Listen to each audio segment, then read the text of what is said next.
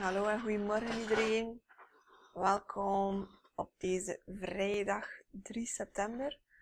Ehm, er gaan heel veel dingen door mijn hoofd heen waarover dat ik het met jullie wil hebben vandaag. Dus uh, ik excuseer me al op voorhand als mijn gedachten en de video wat chaotisch klinkt. Maar ook dat is weer omdat het dan vandaag zo mag en zo moet zijn.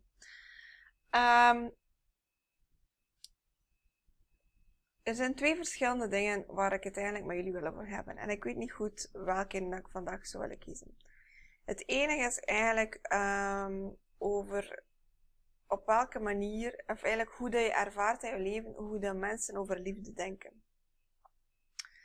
En um, ik had het erover uh, met uh, een klant daarnet en ook um, uh, gisteren met, uh, met, een, met vriend en eigenlijk ook met nog mijn zus ook nog, dat wanneer liefde in ons leven komt, dan lijkt het alsof dat we in ons, in ons hoofd een volledige checklist gaan overlopen. En uh, pas wanneer dat voldoende gokjes aangevinkt zijn, dan gaan we zeggen van, of gaan we eigenlijk ons, onze onze bescherming afgooien en zeggen van oké, dat is inderdaad hier oprecht, dat is inderdaad liefde.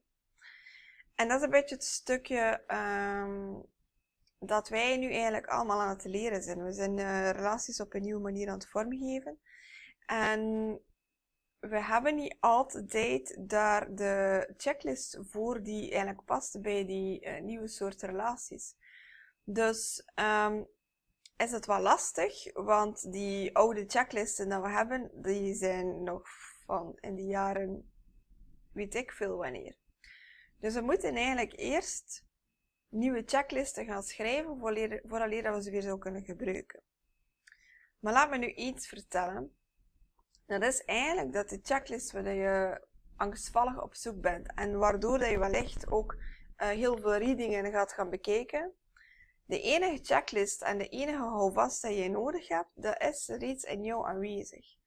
En dat zijn jouw emoties. Um, maar we hebben vaak het idee dat um, wanneer je angst voelt, of wanneer je onzekerheid voelt, of wanneer dat je je verdrietig voelt rond een bepaalde situatie, dat we denken dat het die andere persoon is die ons dat, die negatieve emoties, die laagtraande emoties laat bezorgen. Terwijl dat eigenlijk, dit, uh, dat we eigenlijk mogen leren om die emoties ook op een hele andere manier te gaan um, vormgeven. En daar komen we eigenlijk rond het tweede stuk, waar ik ook vandaag ook een stuk wil over spreken. En nu begreep ik ook hoe dat het samenkomt. Wanneer dat je gaat gaan manifesteren, dan uh, ga je bewust de gedachten gaan kiezen die um, stimulerend zijn om je wensen aan te trekken. En dat betekent dus dat wanneer je um, de liefde wilt aan gaan trekken, dan dat je zodanig uh, over jezelf mag gaan denken en over het leven mag gaan denken en over relaties gaan denken, zodanig dat het op een positieve manier gebeurt. Want hoe kan je nu verwachten dat het universum jou een relatie zal brengen als jij alleen maar negatieve ervaringen en negatieve gedachten daarover hebt?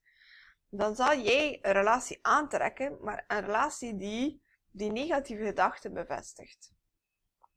Dus als jij een, een diepe connectie met iemand wil ervaren en een vervullende relatie en een harmonieuze relatie wilt uh, echt manifesteren en gaan realiseren in jouw leven, dan is het eigenlijk aan jou om echt je gedachten tegen de spiegel aan te houden en met het vergrootglas er zelf gaan opzetten. Want het zijn net die gedachten die jou vasthouden en die ervoor zorgen dat je bijvoorbeeld vastklampt aan één persoon omdat die persoon, omdat je die persoon voor een stukje wel al veilig voelt, omdat je die persoon voor een stuk al kent.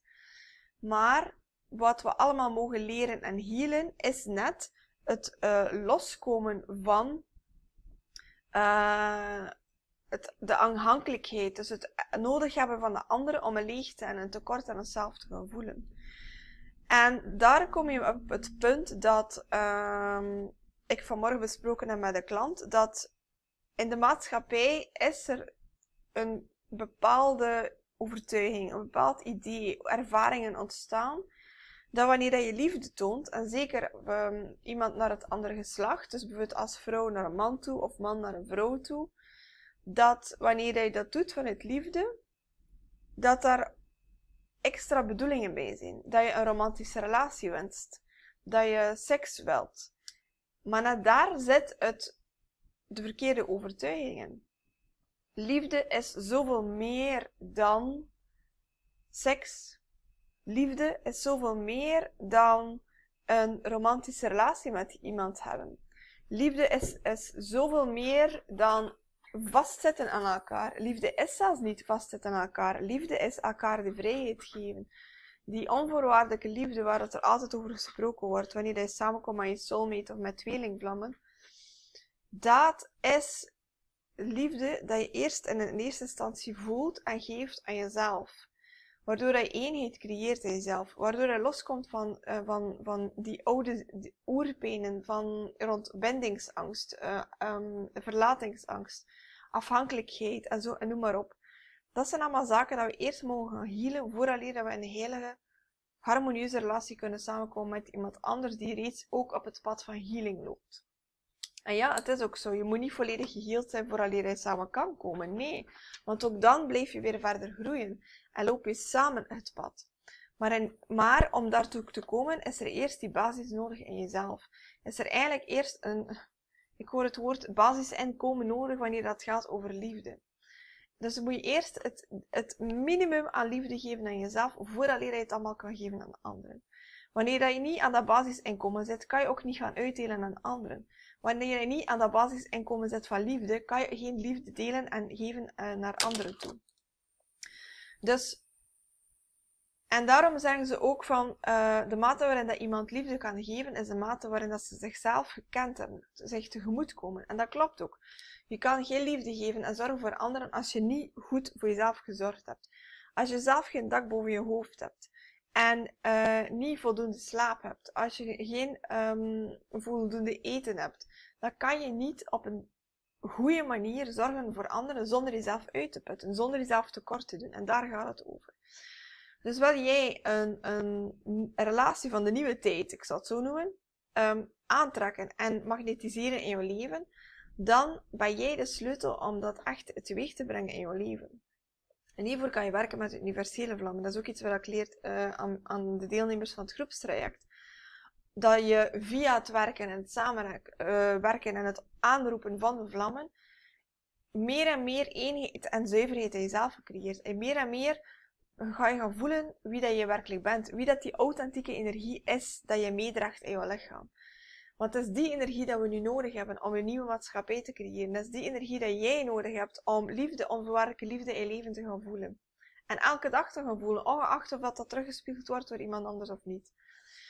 Um, en dat zijn allemaal zaken die ik leer wanneer dat je gaat gaan leven vanuit een hoger bewustzijn. Hoe dat, dat dan zich ook uit in de fysieke wereld. Want het is gemakkelijk om dingen te leren en dingen van buiten te kennen.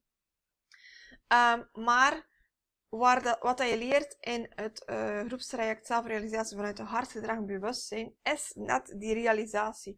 Het jou letterlijk neerzetten in de fysieke wereld, dus in die 3D-wereld, maar niet vanuit de mind, niet vanuit de systemen dat je al altijd gekend hebt, maar vanuit die hogere systemen, vanuit die hogere energieën. En daarom ben ik zo van overtuigd en ik heb al zo mooie, prachtige transformaties mogen zien van, van, van prachtige zielen, die zoveel liefde in zich dragen, maar die nooit de weg gevonden hebben om het op een manier naar buiten te brengen die bij hen past. En dat is hetgeen wat ik mensen leer. Dat is de reden waarom ik zo graag samenwerk in langdurige trajecten. En dat is ook een van de redenen waarom ik niet meer gewoon met losse sessies werk. Omdat ik voel dat mensen die naar mij komen, die zijn klaar om inderdaad met mij samen te werken. Anders zou je niet met mij resoneren. Anders zou je niet naar mijn video's kijken. Maar het is net door dat diep transformerende werk dat ze op een hele korte termijn gaan ze door heel veel dieptes, gaan ze door heel veel schaduwen. En het is lastig en, en soms zullen ze mij ook verwensen. En soms verwens ik hen bij wijze van spreken, omdat we elkaar ook blijven triggeren en uitdagen. En dat is net hetgene wat, wat dat ook gebeurt um, in, in connecties met je tweelingvlam, met de high soulmates. Ze zijn hier om jou te tonen en om jou te blijven uitdagen uh, zodanig dat jij krachtiger in jezelf kan worden. Zodat je dan nog meer in je kracht kan staan. Zodanig dat je gewoon het leven kan manifesteren dat je jij wilt. Niet door harder te werken, want ook dat is weer een systeem en een overtuiging vanuit um, de oude tijd, laat maar zeggen. Maar vanuit wie dat je bent, vanuit jouw energie, vanuit het omarmen en belichamen en het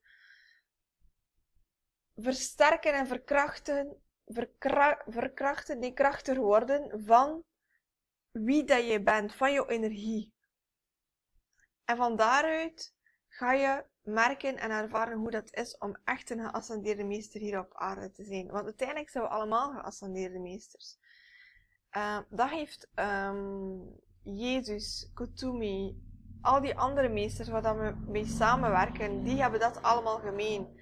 Zij waren een veruiterlijking, een belichaming van liefde in aardse vorm.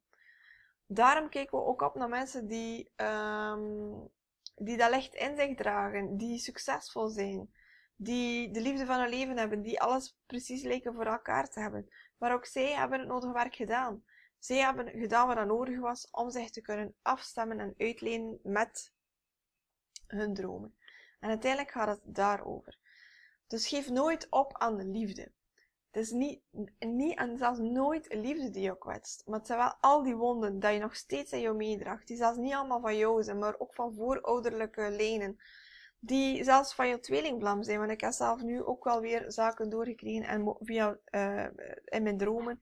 Dat ik heb mogen healen en transformeren. Die zowel in mijn lijn als in de lijn van mijn tweelingblam zat. Maar die ook collectief een grotere invloed uh, had op een negatieve manier. Dus Vertrouw de boodschappen die je krijgt, maar ook hier neem ze ook niet gewoon letterlijk aan. Als je droomt dat iemand aan het verdrinken is, dan is dat niet letterlijk dat iemand gaat verdrinken, maar is dat omdat iemand overweldigd wordt van zijn emoties bijvoorbeeld.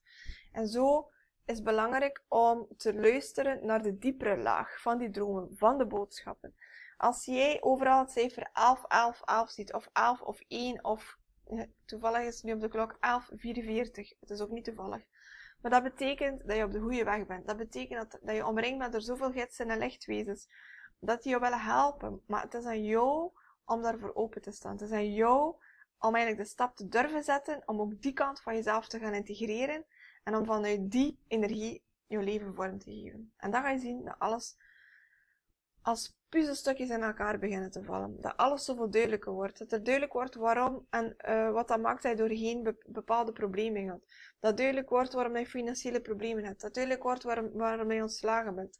Dat duidelijk bent waarom dat die relatie niet lukte. Of mislukt is. Of waarom dat je gescheiden bent. Of, om, of om een gewoon heel simpel voorbeeld te geven. Waarom dat je, je kinderen slaapproblemen hebben. En dat je daar geen oplossing voor vindt. Omdat er ook een les voor jou in zit. En zo werkt het leven. Alles, maar ook echt alles in je buitenwereld. Dus in je uiterlijke wereld, in je uiterlijke omstandigheden. Die zijn er om te tonen waar dat je nog les te leren hebt en waar dat je nog niet in balans bent. En dat en nog zoveel meer zijn zaken dat ik heel graag leer met mensen die met me samenwerken. Ik probeer hier in die korte video's wel het een en het ander mee te geven. Maar dat is echt ook weer het bovenste van, van, van die ijsberg. En ik wil je ook het onderste tonen. Al hetgeen dat onder water ligt. Al hetgeen dat ik hier op dit moment niet kan meegeven. Omdat dat maar bedoeld is om ook oppervlakkige informatie te geven. Niet omdat ik het niet wil geven, maar gewoon omdat ik niet wil uh, video's van uren lang uploaden. Bovendien is het belangrijk om in jezelf te investeren. Want dat alleen al brengt met zich mee een hele diepe transformatie. En dat zie ik aan de mensen die met mij samenwerken in het groepstraject en ook in het individueel um, spiritueel leertraject van drie maanden. Net door een aanzienlijk bedrag in zichzelf te besteden. En voor de ene zal wel iets meer of lastiger en moeilijker dan voor de andere. Maar elke klant die zich gezegd heeft, zoals voor, kijk, ik kies nu voor mezelf. En ik had dat geld dat ik aan de kant had, of dat ik gespaard heb, of van mijn vakantiegeld, of wat dan ook. Ik ga dat investeren in mezelf. Want ik ben het waard om nu eigenlijk dat droomleven na te jagen. En om eigenlijk mezelf beter te leren kennen. En dat is hoe dat werkt.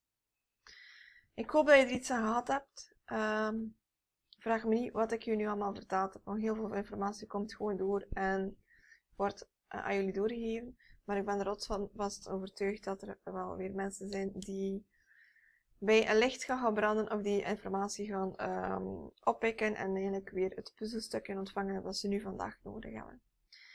Zo, um, vanaf volgende week ga ik um, gedurende, gedurende maand september dus video's maken rond een bepaald thema. Dus dat is een hele week een bepaald thema.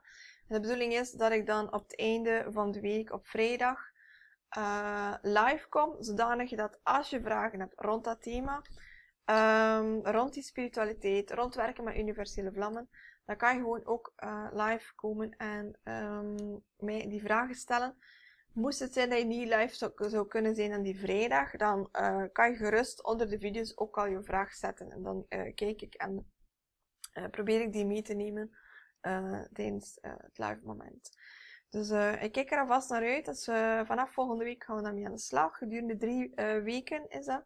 En telkens op maandag ga ik jou dan het thema meegeven. En dan um, doen we die week daar de video's over. Ik uh, vind het spannend en leuk. Ik ben benieuwd over wat dat allemaal gaat gaan. Zelf ook, dat weet ik nog niet. Ik weet alleen de drie grote thema's. Dus um, ik ben benieuwd. Zo, ik wens je alvast een uh, goed begin van het weekend. En dan zie ik je morgen weer in een nieuwe video. Dag!